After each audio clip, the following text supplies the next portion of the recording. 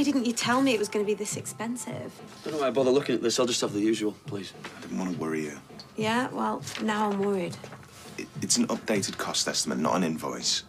Now, you still got a little while before the next payment's due. But the trial hasn't even started yet. How are we going to afford all this? Yasmeen's got assets.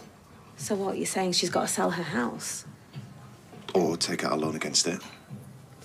Guys, look, I'm um, sorry to chip in, but if you're looking for a quick sale, I've actually heard there's a property developer that's making cash offers for houses in the area. I think David's going to sell to him.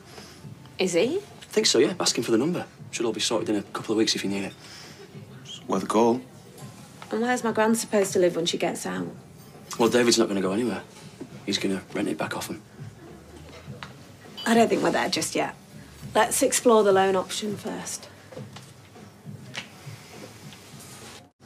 I've just done a credit check on Gran. I'm pretty sure that's illegal. And certainly isn't ethical. She won't mind. I just wanted to see if she'd be eligible for a loan. And? Well, it says here she's got a terrible score. She's missed loads of loan repayments. There's a surprise. She always seems so sensible. There she was. This has got Geoff written all over it. Really? She'd rather die than get something on the Never Never, let alone miss a payment.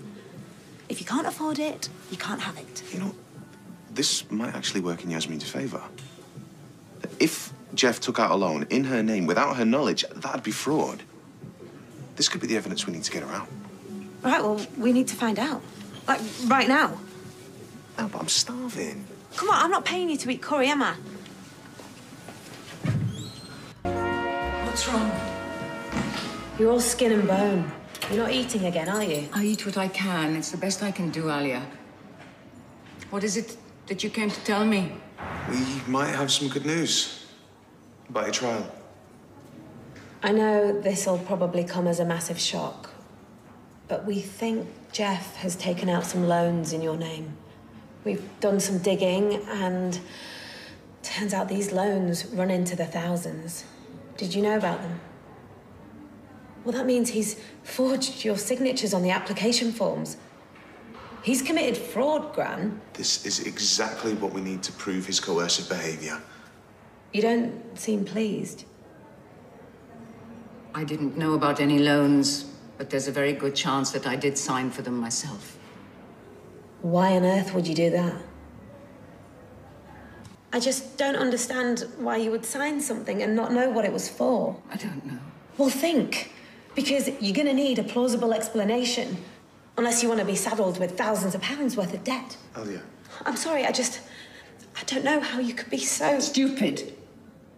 Because that is exactly how he made me feel. He made me think that I wasn't capable of looking after my own money, so he took control of it.